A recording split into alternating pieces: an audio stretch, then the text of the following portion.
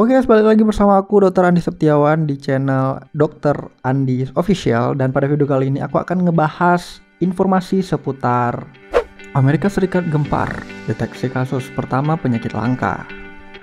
Seorang wanita Massachusetts didiagnosa terjangkit monkeypox atau bisa disebut dengan cacar monyet setelah melakukan perjalanan ke Kanada.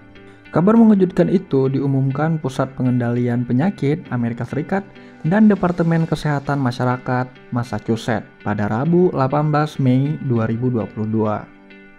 Lembaga itu pun bekerja dengan menyediakan layanan kesehatan dan Dewan Kesehatan setempat untuk mengidentifikasi siapa aja nih yang melakukan kontak dengan pasien itu.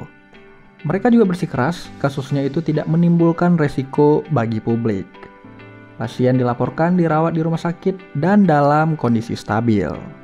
Kasus ini itu adalah kasus yang pertama kali muncul di Amerika Serikat tahun ini dan muncul setelah peringatan oleh otoritas Spanyol tentang potensi wabah virus yang terjadi di antara 23 orang di Madrid. Penyakit itu biasanya menyebar melalui transmisi pernapasan. Hal ini disampaikan oleh juru bicara Departemen Kesehatan Regional Madrid. Nah oke okay guys, sekian info sehat untuk hari ini dan setidaknya memberi kalian informasi lah apa aja nih yang sedang terjadi di dunia kita gitu. Dan aku harap kalian juga pantau terus ya channel ini karena channel ini itu akan berbagi informasi-informasi khususnya informasi kesehatan dan yang pastinya akan menambah wawasan kalian lah. Maka dari itu jangan lupa subscribe channel ini dan tekan tombol lonceng notifikasinya agar kalian tahu terus kapan video terbaru diupload tiap minggunya di channel ini guys ya.